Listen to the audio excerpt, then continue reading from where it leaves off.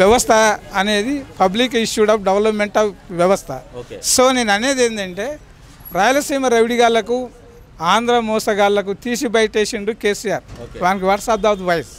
So నేను అనేది ఏంది ఇవాళ ఒకేసారి ఒక సంసారం చేస్తుంటే ఎంత ఖర్చు అయ్యింది ఎంత అయ్యిద్ది ఆ ఇంటి యజమానికి తెలిసి ఉంటుంది. ఎంత పెట్టాలని ఎంత తేవాలన్నా ఎంత ఖర్చు అయ్యేది వాళ్ళ ఇంటి యజమానికి తెలిసి ఉంటుంది.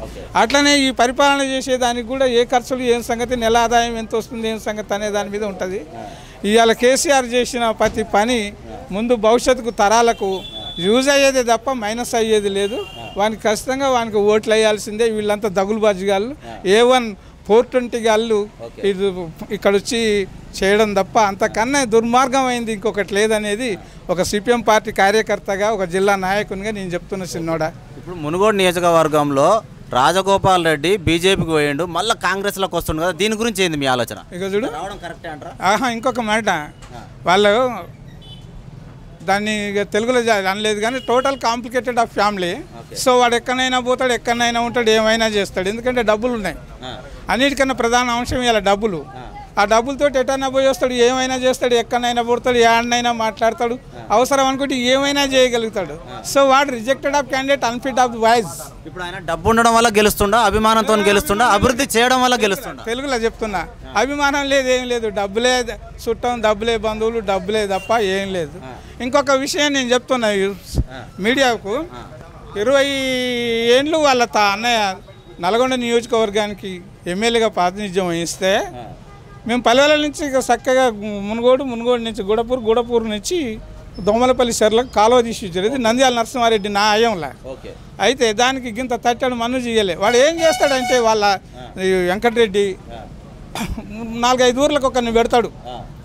ఆ. నాలుగైదు ఊర్లు చూసుకోరా అంటాడు వానికి ఇక వాని ఖర్చులు వానికి ఇచ్చేస్తాడు అయిపోయింది. ఆ నాలుగైదు ఊర్లలో వాడు ఏం చేస్తాడంటే అన్న ఒకటి చస్తాడు చూడు సావంగానే సార్ ఇట్లా చచ్చిందంటే వాని రేంజ్ ఎంతరా అనే వరకల్లా పదివేలు ఐదు వేలు ఎంతో చెప్తారు. ఓ పదివేల రూపాయలు. ఎవరికైనా ఏదైనా ప్రాబ్లం వస్తే పోయి ఆర్థికంగా సహాయం చేస్తారు అంటారు. చేస్తాడు అంతకు తప్ప నోట్ సహాయం చేయడం వల్ల వ్యక్తిగతంగా వీళ్ళు పాపులారిటీ సంపాదించుకుని అంటారు? తప్పే ఆ, అంతకు తప్ప అభివృద్ధి పరంగా ఏం చేయలేదు అంటారు? అభివృద్ధి పరంగా శూన్యం నాన్న శూన్యం. కాంగ్రెస్ ప్రభుత్వంలో ఉన్నప్పుడు సరైన నిధులు ఇవ్వకపోవడం వల్ల పైన కేసీఆర్ ఉండడం వల్ల మునుగోడు నియోజకవర్గం అనేది చాలా ఇబ్బందులకు గురవుతుంది. చూడు ఈ అన్నం వండినప్పుడు ఎవరికి సిప్పల ఆనికి ఆన మందం ఇంత తింటాడు అంటే ఇంతే ఉంటుంది అంత తింటాడు అంత అంతే ఉంటుంది.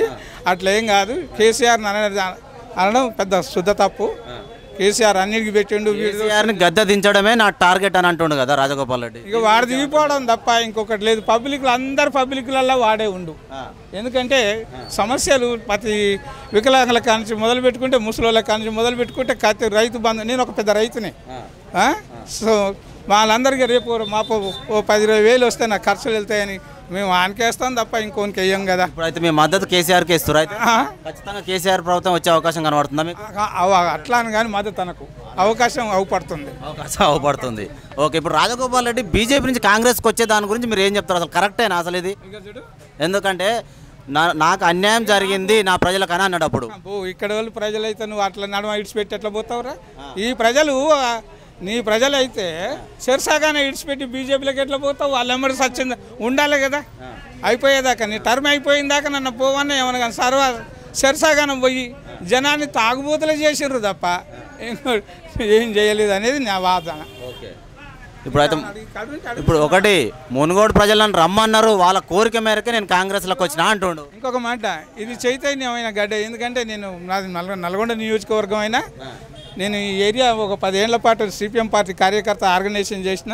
ఇక్కడ అందరూ చైతన్యవంతులు ధైర్యవంతులు అన్నీ ఉన్నోళ్ళు. మునుగోడు నియోజకవర్గ ప్రజలు ఒక్కరు కూడా అయ్య నువ్వు రా నువ్వు మాకు బాగా చేస్తావని అనేటోళ్ళు లేరు. ఆయన మాటలు తప్ప ఒక్కడు కూడా వాడిని అవమానించేటోడు ఇక్కడ లేడు. ఇప్పుడు మునుగోడు ఉప ఎన్నికల్లో బీజేపీలోకి పోతప్పుడు చాలామంది ప్రత్య కొంతమంది ప్రతిపక్ష నాయకులు కూడా ఏమన్నారంటే ఆరు వేల కోట్లకు సంబంధించిన కాంట్రాక్టులు ఆయన వశం చేసుకోవడం కోసమే బీజేపీలోకి పోతుండ అనేది బాగా నడిచింది అప్పుడు మునుగోడు ఉప ఎన్నికల్లో. దీని గురించి ఏంది మీ ఆలోచన? ఇక అది ఇంకొక విషయం. ఎంతవరకు తెలిసిందో అంతవరకే మాట్లాడాలి కానీ తెలియని విషయంలో అది మాకు తెలియదు తెలియదు. ఓకే. ఇప్పుడు అయితే ఇప్పుడు మునుగోడు నియోజకవర్గంలో ఇప్పుడు మీ ఆలోచన ప్రకారం కేసీఆర్ ప్రభుత్వం వచ్చేటట్టు కనబడుతుంది అయితే. వచ్చేటట్టు కనబడుతుందని చెప్తలేను. వచ్చేటట్టు కనబడుతుందని నేనెట చెప్తా? ఆ జనం ఓట్ల దాయది కానీ విషయం ఏంటంటే పబ్లిక్ మునుగోడు నియోజకవర్గానికి ఏం అన్యాయం చేయలేదని మాత్రం చెప్తున్నా. మునుగో ము- మునుగోడుకే కాదు తెలంగాణ రాష్ట్రానికి ఏం చేయలేదు వాడు కష్టపడి తీసుకొచ్చిండు. వాడు అందరికీ సాయం చేసిండు చేయగలుగుతాడు. ఒకసారి కావాలంటే కాదు కదా క్రమక్రమంగా అవుతుంది విన్నావా? మొత్తం డెవలప్మెంట్ ఆ- కావడంలా నేను ఎందుకంటే అన్ని రాష్ట్రాలు తిరిగి చూసిన. సో మన నల్గొండ తెలంగాణ రాష్ట్రం మాత్రం డెవలప్ అవుతుంది నల్గొండ డెవలప్ అయింది ఇక నాలుగు రోజులు అయితే గది ఓపెన్ అయితే చూడరాదు. ఏది మన నరసింహల శివనగూడెం ప్రాజెక్ట్ అయితే సర్లగూడెం ప్రాజెక్టు పా అయితే ఈ మొత్తం నీళ్ళు తిరుగుతాయి. వానికి చెయ్యెత్తి అంతా ఎవరు పుణ్యం అంటారు కేసీఆర్ పుణ్యం అంటారా పుణ్యమే. అవతారు ఎవ్వడు చేయలేదు. కేసీఆర్ పుణ్యమే. నూటికి నూరు శాతం వాని పుణ్యమే వానితో అయితేనే డెవలప్ అయింది లేకపోతే కాదు. ఇప్పుడు ఓకే కేసీఆర్ బాగానే చేసిండు పర్లేదు ఆయన మీద అనవసరంగా అబండాలు వేస్తారు అంటారు. రైతు బంధు వంద ఎకరాలు ఉన్నోనికి కూడా ఇస్తుండు అని చెప్పేసి అంటారు కదా. రెండు వందల ఎకరాలు ఉన్న కూడా చేయడం కరెక్ట్ కదా? సరే నువ్వు అనే ముచ్చాడు చెప్తా చూడు వంద ఎకరాలు ఎవడు ఉన్నాడు వాడైతే మా కంటికి కనబడలే.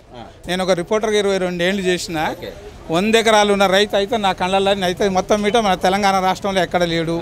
ఉన్నోడు ఉంటే అప్పుడే అమ్ముకుండ్రు కాకపోతే సీలింగ్లో పోయినాయి అక్కడక్కడ పోయినాయి. ఈ వాడిని ఇబ్బంది పెట్టడం కోసం అదరగొట్టడం కోసం ఈ మాటలు మాట్లాడు తప్ప వంద ఎకరాలు వనుకుందా తప్ప అది లేదంటారా? లేదు.